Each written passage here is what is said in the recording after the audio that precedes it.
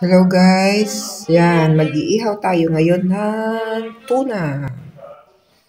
Yes, it is tuna, pero yung maliit lang siya. So, nilagyan ko yan ng pepper, um, asin, syempre konting asin, at saka butter. Parang buttered fish ang ano niya, pero iihaw ko siya. Ayan, so let's do this.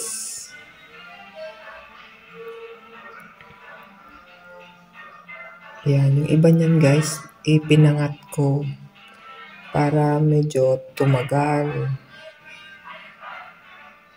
Kaya tatlo lang yung iihaw ko. Masarap yan guys, try nyo din.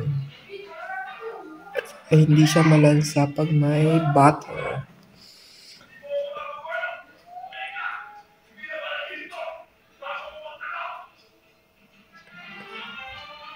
Ayan, yummy.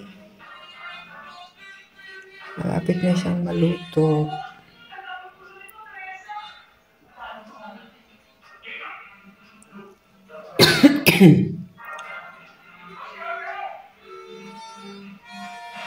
Ayan, it's almost done.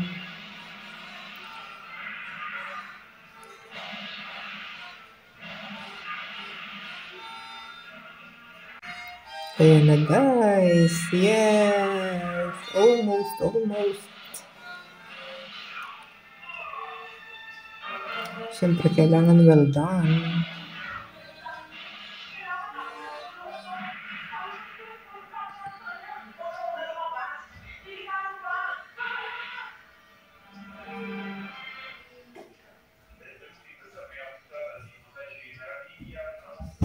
Yan, it's ready. Pwede nang kainin. So, bye guys. Thank you so much. And see you on my next video. Bye. Have a nice day, everyone.